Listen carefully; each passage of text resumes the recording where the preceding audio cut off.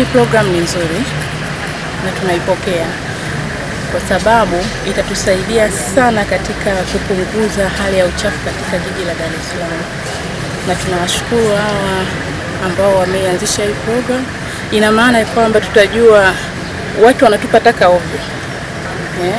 lakini kulingana na hii drone tulioonyeshwa, ina maana wana identify kila eneo ambalo lenye uchafu kwa hiyo wataangalia ni maeneo gani ambayo yana uchafu zaidi, na je, tuweke sehemu gani kwa ajili ya kutupa takataka ili watu wasio wanatupa taka ovyo.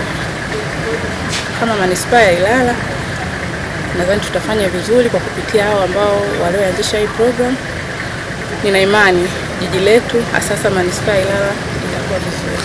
Wananchi inabidi waelewe, tutakapoamua kuweka hizo sehemu za kutupia taka, wao wanatupa taka pale katika hayo maeneo, na waelewe utupaji wa taka ovyo unaleta madhara, magonjwa na kila kitu.